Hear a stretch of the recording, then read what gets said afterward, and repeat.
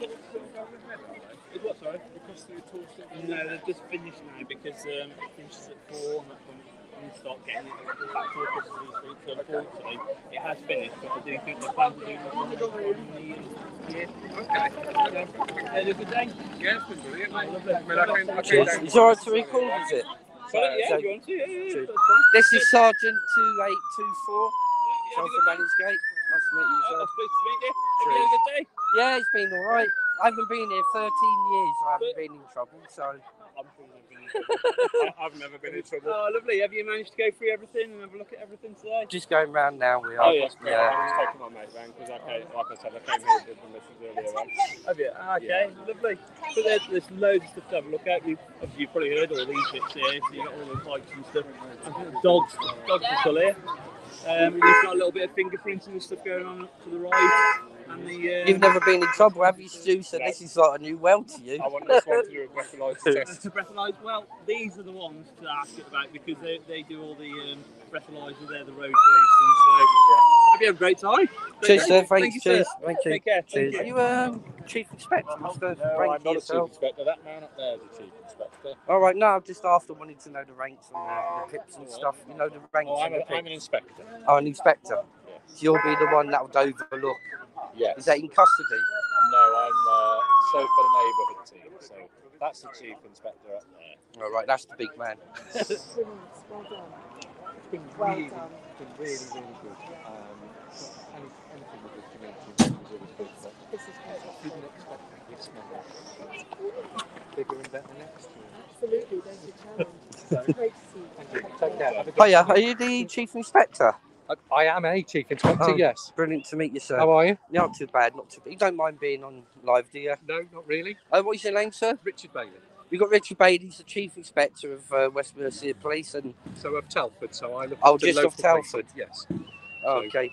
And so, So, there are um, the assistant chief constable and the deputy chief constable of the whole force I, I just spoke to the Chief. I want to get the, the next guy up. Oh well, But what's your main like sort of job in So like the my main job then is I work out of this building in Malinsgate, and I am the chief inspector for local policing.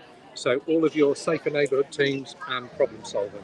So all of these staff that you see here, um, who are your community bobbies and your PCSOs, they're all my team, um, and we look after the day-to-day sort of bobby on the beat and PCSOs on the street um, for everyday policing in Telford. And how, how, how long have you been in the force? Um, I start my 30th year at the beginning of December. So Oh, wow. 29 See, see, guys, it just goes to show you a 30 year career and then the golden handshake at the end of it. You never know. Going to be uh, slightly longer than 30, but it's all good fun. Cheers, sir. So- My name's Steve from uh, Official Topic Talk Nice- YouTube. I've nice got around about just under 5k subscribers. Good luck. Um, and I've been covering all about like the grooming gangs in Telford and you know all of that side of on the channel to get the awareness out there. Okay. But cheers, so thanks for your time. Cheers. There we have our local local cookery. Not sure who it is. Let's just get that some advertisement for Grind and Displays. And there you go, guys. You must get some of the best best samosas in Telford. Bit of advertisement for you. And that's the Kieran de Flames. There we go, guys. I'm just going to show you their menu quickly. As you can see, I'm going to take one away with me. You do take uh, delivery and takeaway. There we go, guys. Get ordering from Telford. Did you see that knife one? Yeah. When they had the, I've done the knife angel, and I've actually done a video on this when this the gun bee uh, was in Telford.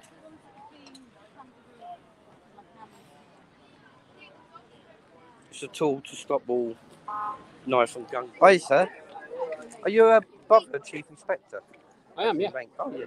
Nice to meet you. My name's Steve. Hi, Official Steve. topic talk. You what, sorry? My name's Steve Clark. Hi, Steve. Um, a, got a YouTube channel, Official Topic Talk. What's the, what's the YouTube channel? Official Topic Talk, Okay. and uh, I've been covering like about the grooming gangs and all that sort of stuff for awareness in Telford. Yeah. What is your actual job? Do you- I'm the Deputy Chief Constable. Deputy Chief Constable. Yeah. And what does your job like entail? That means I run West Mercia Police. So you overlook all the officers Every, everything. the everyday Uh, so running. I- the chief, the chief tells me what she wants, uh, and largely I deliver to her strategy. And so I make sure we're performing well. Uh, I make sure we are trying to get crime down, trying to bring offenders to justice, make people trust us, uh, working hard to make sure the vulnerable are protected. You've been on the force Eleven- months. 11 months? What, at, what, in the full force or just West in this area? But before that, I was in the Metropolitan Police, and before that, I was in West Midlands. Oh, right, so you've had a thorough career from. So, how long altogether?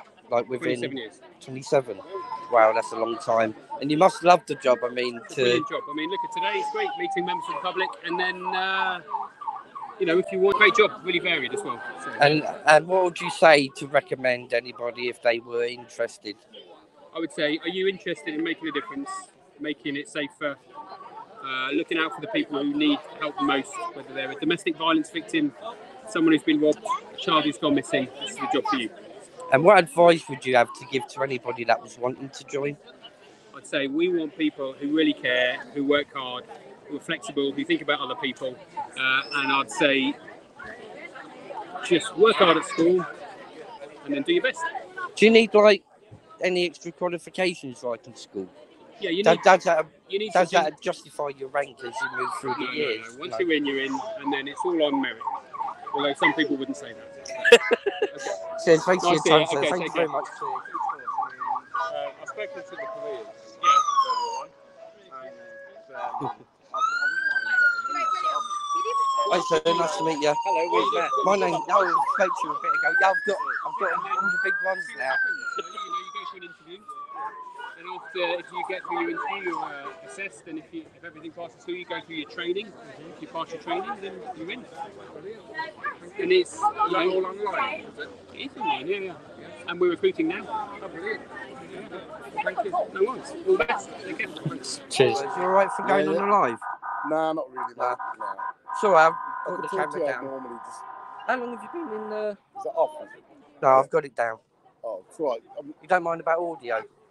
I just won't get I'm your just here for the show, mate. Really. I mean, I've just spoke to the chief inspector and you know the the big Yeah. pit guys. Um, I mean, I haven't been in trouble for about 13 years now. Yeah, so you just come today, just uh, Um, well, he, he's never been in trouble. He's a goody two shoes, and uh, I'm trying to get him in cuffs so he knows what it feels like.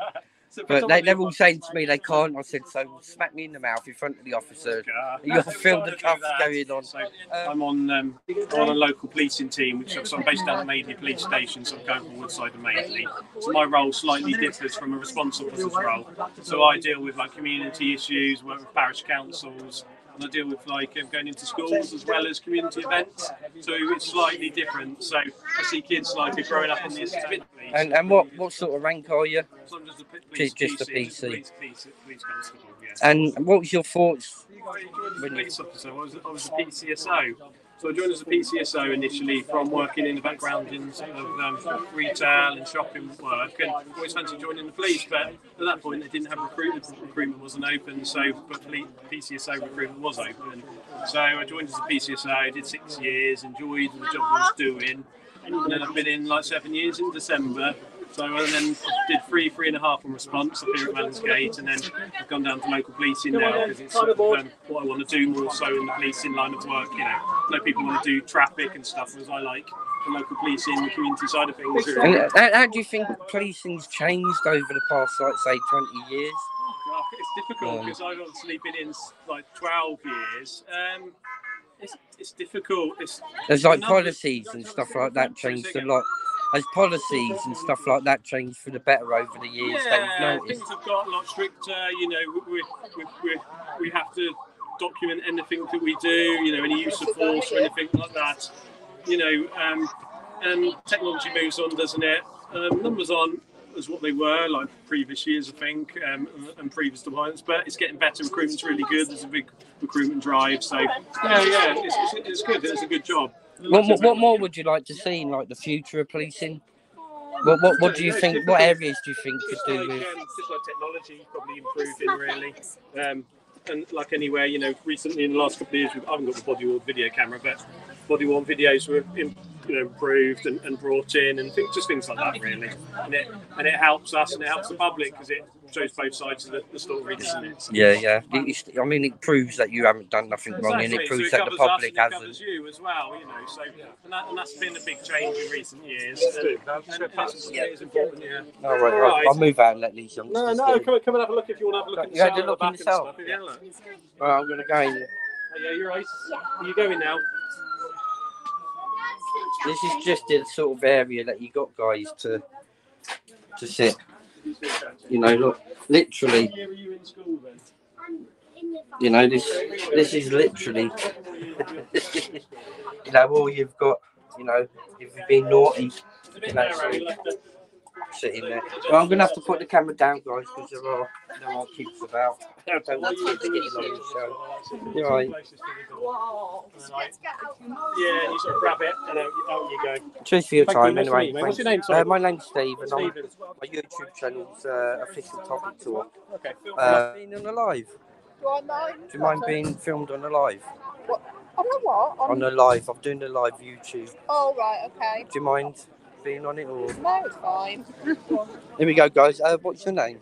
Um, Chief Inspector Joe Whitehead. We got Chief Inspector Joe White here. Here. Um, just going to ask you a couple of questions. Um, how long have you actually been in the police force? Nearly 21 years. 21 years. That's a long time. That is. And how, how did you feel when you like when you first wanted to join? Oh well, it's it's quite a lot of change when you first join, um, but it's like being part of a big family really, and everyone makes you feel really welcome. You really get a lot of good training, and um, soon get into the, the swing of things really. And I can't imagine doing anything else. And what what, what ma- Sorry, do you need any special qualifications to join as a PC?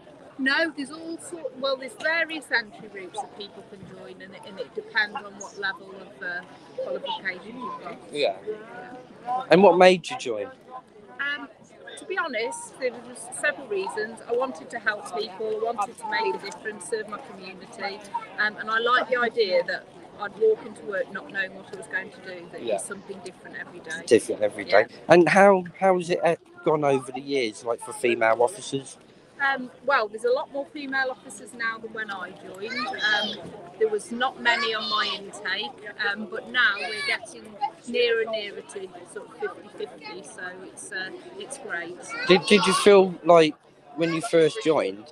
Did you feel that you might have been, I don't know, vic- victimised because you're female as opposed to doing? No, I've never experienced that. Um, you know, I know perhaps some people might felt like that, but no, I, no, I haven't. Have you always been with West Mercia, or have you been Yeah, through no, other always, forces? Uh, always West Mercia, mainly based here at Telford, but also worked at Shrewsbury and Kidderminster. And um, you obviously started off as a PC and worked worked your way up. Um, how hard was it for you from being a PC to being a, look like the top of the chain, basically, as a chief inspector? Um, it's hard work, and there's ups and downs over the years, and it, it's, it's not like plain it's not plain sailing. Um, most of my career I spent in CID, um, so yeah, but it's it's been great. Brilliant. Uh, my name's Steve. Um, I've got a YouTube channel, Official Topic Talk. Um, I've got just over 4,000 um, subscribers. Yeah, Um, and I first started my channel last year, yeah. so I've only been going a year. Oh. Um, I've got about 1.3 million views on all my videos. yeah, Um, and I've started my channel off um, covering about the grooming gangs in Telford, right. um, you know, to bring awareness. And um, I did step out, you know, into their world, you know, because I know it's a Pakistani community, you know, and, you know, and I caused a bit of a ray, um, you know, within the Wellington area. But I was only covering everything that I knew was true or was fact, and it's already out in the public domain. Right, so you've just built up followers. Yeah, from from from starting from that, um, which I felt needed awareness to be brought, um, you know, because of so many survivors being out there. Um, you know, I felt the need, you know, that I needed to cover that subject, and then um, I kind of swayed off of that course, um, and I started interviewing like underworld gangsters, um, like from Newcastle. But when I was in, when, when I set up the interviews with them, the, these underworld figures, I didn't want all their glory doors because I don't glorify crime. Crime should never be glorified. But the story that I wanted is their tra- transformation from character, from how they were um, and the underworld stuff they used to do, to being like the good citizen like of today. Um, that's the story I want because I, I don't want to. I've never wanted to interview these characters, and you know, people think oh, it's glorifying their activities, you know, which is something I, I don't believe in. Um, but I was more interested in how they changed as a character, how they went from being this horrible, you know, individual to you know, like an everyday, like normal citizen. Um, there was about three I think I've covered, like from in the Newcastle um, area. Um, and then I went on to doing a few podcasts um, with a, a- couple of guys over from America. Um, and then I've, I've now gone to the path where I want to start interviewing bare knuckle boxers. Oh, Um, really interesting. Well, I mean, did you say luckily, the name of your channel was official topic talk. Um, I'm, I, I was lucky. Uh, I managed to interview a BKB fighter, which was the first ever BKB fighter out of Telford. Um, and unfortunately, um, four weeks after I managed to get the interview, he died